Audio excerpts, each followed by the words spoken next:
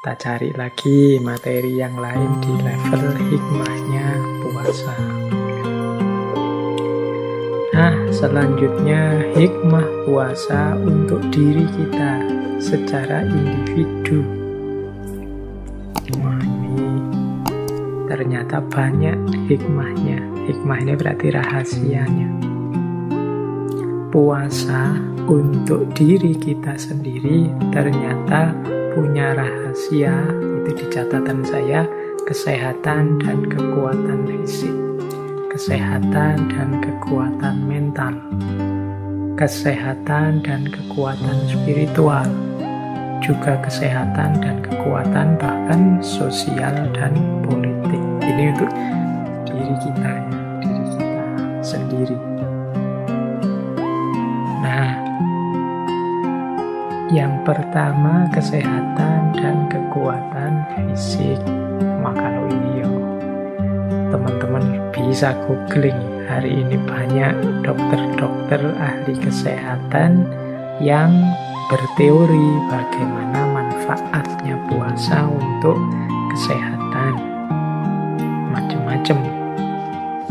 Misalnya ada yang saya ingat begini, ada yang dokter menyatakan bahwa puasa itu secara signifikan bisa menurunkan tekanan darah, kolesterol, trigliserid, kemudian juga hal-hal yang berhubungan dengan ketegangan diri, ketegangan fisik. Nah itu bisa turun dengan puasa, yo teman-teman. Kalau yang ini bisa merasakan sendiri. Puasa itu ada yang bilang juga bisa mengurangi peradangan dan nanti bisa mencegah gangguan Alzheimer. Alzheimer itu pikun. Ada pula yang bilang puasa itu bisa melindungi kesehatan otak. Jadi meningkatkan pembentukan sel-sel saraf untuk meningkatkan fungsi kognitif kita. Dan mungkin segudang lagi yang lain manfaatnya puasa.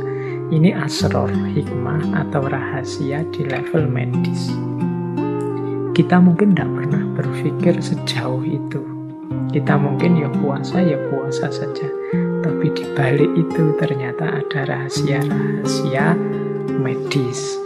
Jadi keuntungan untuk kita dari ranah kesehatan. Ya ini salah satu indikasi yang sering saya bilang bahwa Allah itu begitu sayang pada kita. Kalau memerintahkan sesuatu, selalu saja orientasinya bukan keinginannya Allah saja, tapi kepentingannya manusia. Apa pun yang diperintahkan oleh Allah selalu punya rahasia. Di balik itu ada nilai penting, bahkan mungkin sangat penting untuk manusia. Ya seperti saya jelaskan tadi, ini baru dari sisi medis saja. Bagaimana puasa itu ternyata menjadi sumber kesehatan banyak membantu kita untuk memperoleh kesehatan. Baik, ya ini ini namanya asror. Saya bilang tadi level asror atau hikmah itu ya kita tidak ngerti ini atau tidak nyampe ke sini pikiran kita tidak masalah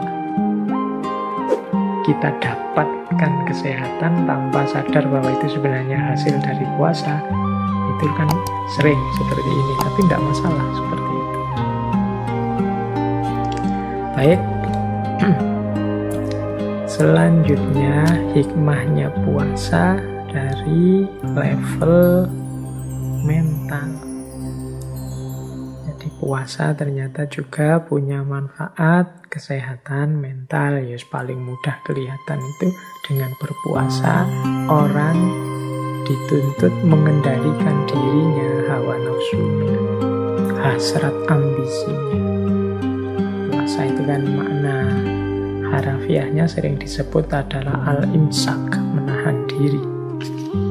Nah menahan diri dari hal-hal yang dilarang oleh agama secara mental seperti melampiaskan hawa nafsu tanpa batas, ambisi yang tak terkendali, iri, dengki, dan lain sebagainya. Ini kan kalau puasa harus kita kendalikan.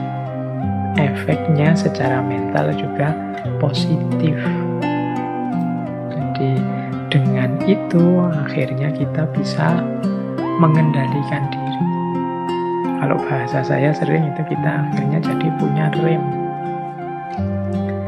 Nah, itu manfaat mentalnya yo banyak sebenarnya kalau ini dijelaskan nanti bisa masuk ke ranah akhlak, ke ranah pengendalian diri dan pembersihan diri. Ini sangat bermanfaat untuk kesehatan mental kita apalagi hari ini ini zaman yang seperti di sesi teknologi kemarin itu kita yang serba terburu-buru serba ingin segera sukses serba dipepet kiri kanan.